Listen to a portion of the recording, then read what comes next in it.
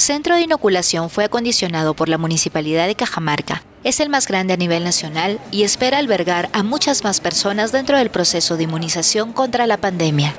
Primero fueron personas reconocidas dentro de la primera línea de lucha contra el virus. Ahora son adultos mayores de 80 y 70 años de edad, los que han recibido la primera dosis de la vacuna contra la COVID-19 y progresivamente serán personas ubicadas en distintas escalas cronológicas, hasta lograr la inmunización de toda la población cajamarquina. En lo que va a la fecha se calcula un aproximado de 3.000 vacunados entre 80 y 70 años, en este centro de inoculación considerado como el vacunatorio más grande a nivel nacional.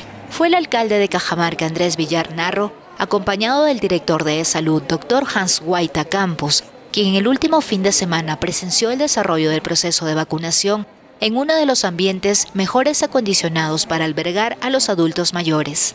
La autoridad de DIL hizo propicia la oportunidad para hacer entrega de productos de bioseguridad, como mascarillas quirúrgicas, alcohol y caretas faciales con la finalidad de que estas personas vulnerables continúen con el adecuado cuidado. Como se recuerda, la actual gestión desarrolla diferentes planes de contingencia, con la finalidad de salvaguardar la salud e integridad de los cajamarquinos.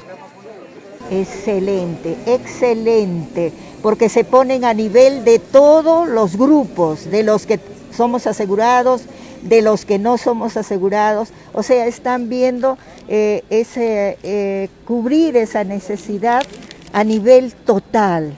Te veo eso como lo más importante, la atención excelente, cumpliendo todos los protocolos, ¿verdad? Orgullosa de mi municipalidad.